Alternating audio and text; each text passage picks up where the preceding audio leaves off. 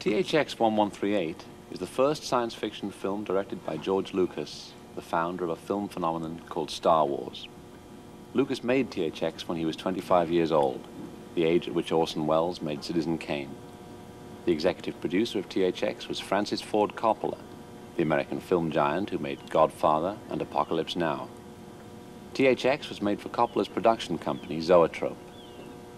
The story goes that THX was originally a film that Lucas made at film school. And the great man encountered Lucas slaving away in the halls and said, Pretty good movie, kid. Why don't you make it as a feature? The story continues that Lucas couldn't think of a title for his film and finally settled on his car registration number. Anyway, THX 1138 is a man living in the skinhead paradise of the future. This world is underground, and its inhabitants are permanently stoned on drugs and Muzak. Just in case they get out of line, there are plenty of robot cops to set them straight with cattle prods. One of the cops is played by Johnny Weissmuller Jr., son of the man who was Tarzan.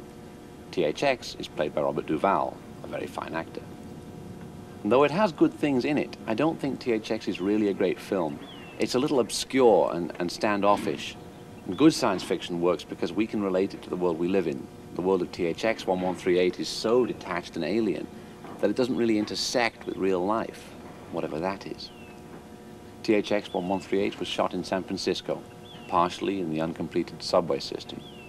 Whither I return. Buck Rogers in the 20th century. Buck Rogers, now adventuring in the amazing world of the 20th century. By turning a little dial to project us ahead in time, we're able to be right with Buck and his friends in the wonderful world of the future. A world that sees a lot of our scientific and mechanical dreams come true. You know, there's nothing supernatural or mystic about Buck. He's just an ordinary, normal human being who keeps his wits about him.